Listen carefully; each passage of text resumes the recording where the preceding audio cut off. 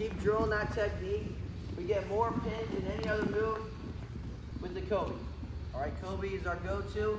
We get to a front headlock, we shoot our arm through, we get to that cement job. Now, guys, a mat return that we love. I love this move, all right? Uh, you guys know who Luke Pletcher is? All right? He was ranked number one in the nation, beat Nick Lee at Big Tens, all right? Nick Lee had him at, in the duel, but then Fletcher beat him at Big Tens. Two weeks later, they would finish, uh, had each other at nationals. But uh, Luke Pletcher from Ohio State, 141 pounder, ranked number one in the nation. He goes to this one all the time.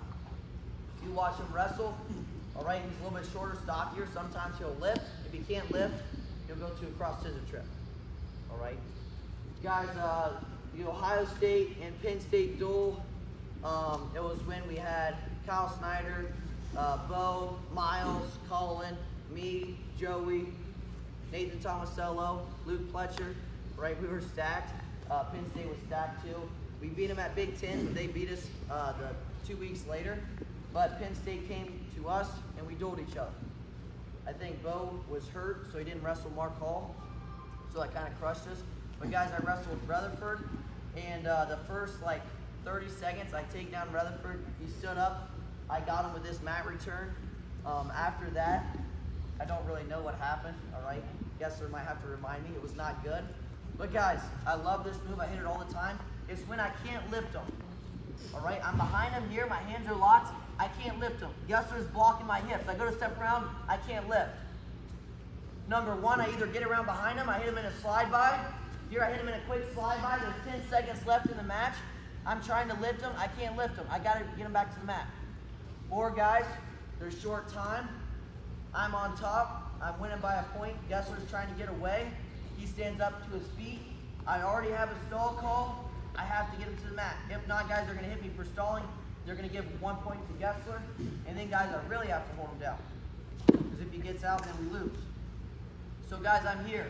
My hands are locked, and he's blocking my knees, and I can't lift him. If I can lift him, I'll go to the lift. I'll slam his hips to the mat. All right, and I'll break him down. This is when we can't lift him. We're going to do a move. It's called a cross scissor trip. Uh, do you guys know what a tabletop is? All right.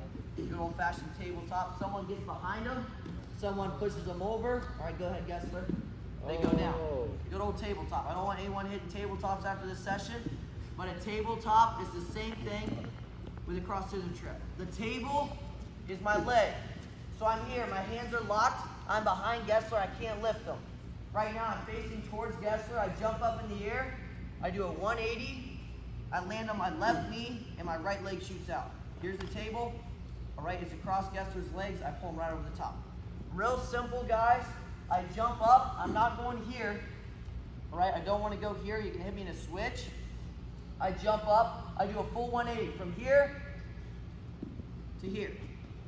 I jump up from here to here. Notice, guys, my hips now are facing this direction, the opposite of Gessler's. Before I was facing towards them. Now, guys, I'm facing the opposite direction. My hands are still locked. Real simple from here. My, my leg is blocking both of his feet. My hips are at that angle. I pull him right over the top. Once I pull him over the top, he hits, I blast into him. I try to get to a near wrist, and I break him down flat. Real simple technique. Hands are locked. I can't lift them. I have to get them to the mat.